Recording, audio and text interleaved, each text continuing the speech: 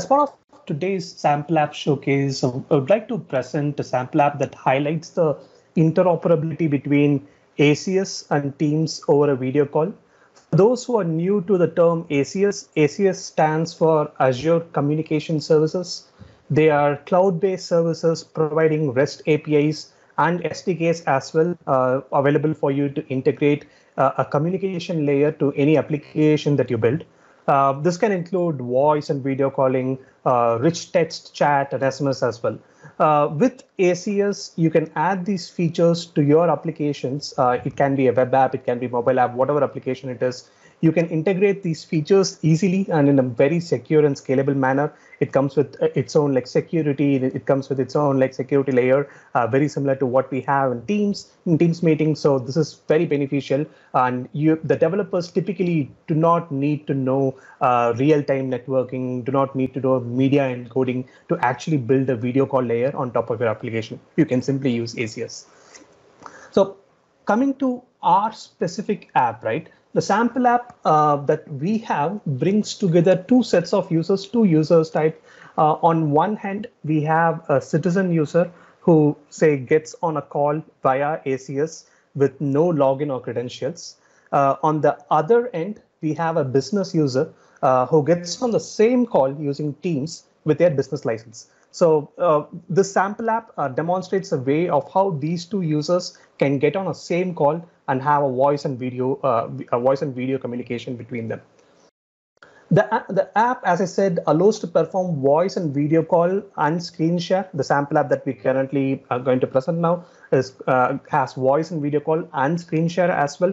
Uh, you also have the ability to have chat uh, uh as well integrated with it, but the sample app does not present that part, but it's available as part of the SDK in case you want to build that as well.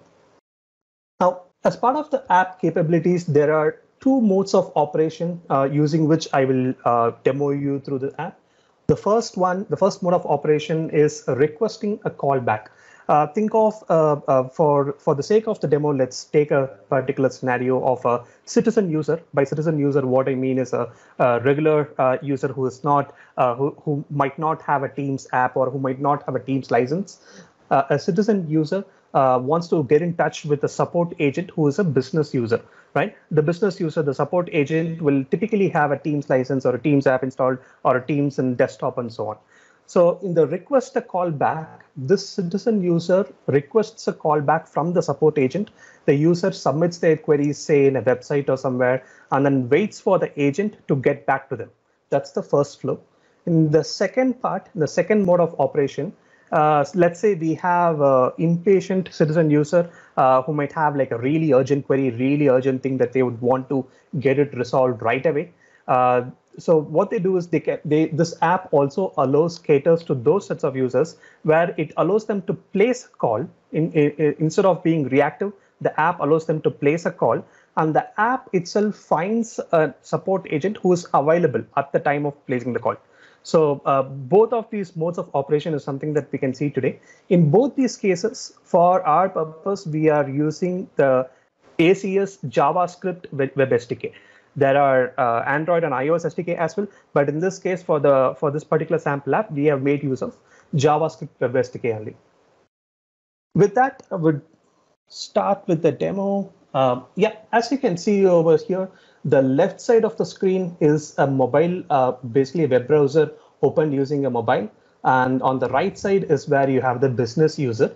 Uh, as the uh, flow starts, you have the citizen user on the left side uh, interacting in the browser. They type help and then they get like a set a small form kind of fashion where they're able to enter their initial details and then a particular query that they want to ask the support agent and they click on submit on the left side as soon as the submitted, you see on the right side, this request gets sent as an adaptive card on the right. So this is basically a team. As you can see over here, it's a team. And the card with the information that you saw over here gets posted as an adaptive card. And uh, like you saw in the previous demo, the bot posts it over here and uh, the bot basically the ACS sample bot posts this over here. And uh, we can imagine like uh, all the support agents are part of this particular team and channel and anyone who is available, they can click on accept and then get in touch with this particular customer. So in this case, a particular uh, person, particular agent clicks on accept, and as soon as they click on accept, as you can see on the left side, you can see the there is a meeting join link that comes up over here. On clicking of which both parties, like on clicking on the right side, the business user gets on the call on team side, whereas on the left, if you see when they click when they clicked on the meeting joint link, a custom UI appears. Now this is the ACS part kicking in. So this is a custom UI where it mimics the Teams joining interface, but this works completely in the web browser. So as you can see, they can enter some preliminary information, some identifying information for their name, and then uh, enable their camera and microphone, and then they'll be able to join. And uh, as they join, they uh, get they get shown on the lobby because of the org settings. Uh, they get shown on the lobby, and then this particular user would be able to admit them into the call.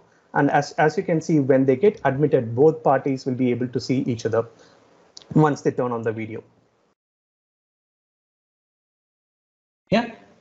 So this is ACS in action. The key point to note over here is this is completely web-based. In case you don't have ACS over here, what would have happened is uh, when they clicked on the join link on this mobile, they would have been prompted to download the Teams app and they would have to download the Teams app and then do the same set of activities because we have ACS integration in the web browser. Uh, they are able to get on a call directly in the web browser and they did not have to download Teams app just, just to join the call. The second flow that I was talking about is placing a call. So as you can see in this particular flow where we are placing an urgent request, the citizen user presses on place a call and they immediately get a join meeting link. So they immediately get a join meeting link. Now, on the other end, what we have done is we wanted to not just show capabilities of ACS, we want to take it up a notch and also show calling and meeting bot. Now, what happened over here is when they clicked on place a call, a bot came to life and then it starts calling agents in a particular order. Now, this is the profile of one agent, Mango Dev, and uh, the bot uh, proactively calls this particular person. Now imagine Mango Dev is not at his desk, out for coffee, so the bot calls, say 15 seconds, and then it, it goes off. It recognizes no one picks up the call, and then it would go to the next available agent. So basically, the next agent, it will uh, it will try to ping them. So the the first person, Mango Dev, didn't pick up the call. Now you have Alex Wilber. Uh, so the bot will try to call Alex now. The same bot as is calling Alex over here, but in this case, Alex is busy. Uh, he's tending to say another customer or busy in another call or uh, busy in some other uh, work. So he decides to reject the call over here. The bot also understands when, when the call is rejected. Now it will go to the next agent. Now we have Ben Walters who is available and Ben Walters is going to uh, accept the call over here. Say Ben clicks on accept and uh, this is the basically the citizen user side of things. This is the same UI you would have seen in the previous uh, previous demo. Now, in the rest of the things is very similar to what you saw earlier in the request to call uh, flow. It, the difference in this particular one is the bot does the intelligent job of finding who is the available agent, and if they're not available, it will go on to the next person and then get them together into the same uh, uh, into the same meeting just to show different uh, ways in this uh, this would work the same thing would uh, basically the same kind of like a meeting works in this space as well. Whereas here the citizen user is using uh, the web browser in a uh, in a laptop whereas in the previous demo you you saw the web browser being used in a mobile uh, now, in the same experience, everything else remains the same, just that the bot also has joined the call. So the bot has access to the media and uh, basically the video and audio streams and can listen into the call and can do any kind of intelligent stuff that you that you can imagine. Uh, say it can uh, intelligently pick up keywords and summarize the notes or proactively ping the agent before joining the call to give a summary of the customer in case you have backend integration with CRM. It can do anything under the sun. Uh, the imagine uh, basically the limit is your imagination. So this bot can be used for all of those purposes as well. Uh, but for the purpose of this sample app, this bot just does the part of call routing. Now, uh, again, uh, just wanted to be uh, basically like wanted to highlight this particular part over here. As you saw, Uh, in this sample app, uh, we have coded it such that the bot uh, basically calls these three folks in a, in a round robin fashion. But it's up to you to decide what call routing logic you want to implement. Uh, we have graph APIs to check a person's calendar. You have graph APIs to check this particular person's available, busy, in a meeting status, and all that, basically the present status. So based on that, you can implement your own custom routing logic and essentially have a call center solution built over here with this sample app as, as your base.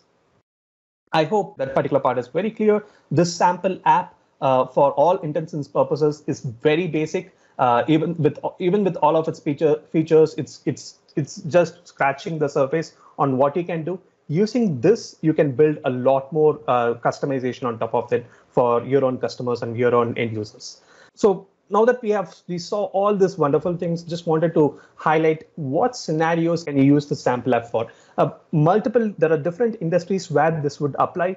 Uh, the common theme across all of these areas is this sample app is going to bring to life a lot of B2C scenarios uh, where one leg of user, one leg of communication.